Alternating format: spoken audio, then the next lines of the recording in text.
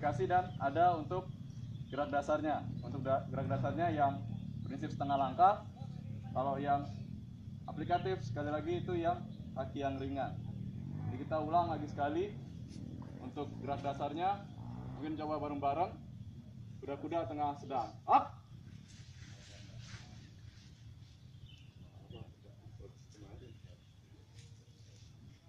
Ya. Maju ke samping. Kuda-kuda tengah rendah. Up. Kiri kuda-kuda depan. Up. Ya. Untuk maju ke samping ataupun melangkah maju ke samping, melangkah maju, mundur ke samping, melangkah mundur ya.